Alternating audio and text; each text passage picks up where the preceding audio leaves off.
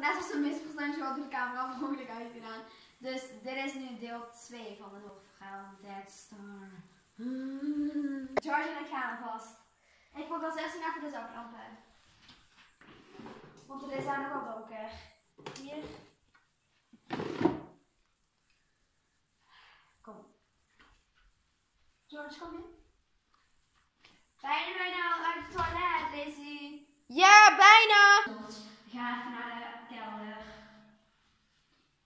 Kom, George. George, stop. Wie is daar? George.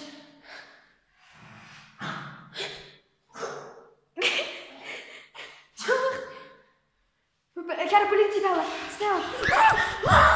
Heb je de politie gebeld? Ja. Kom, snel weg.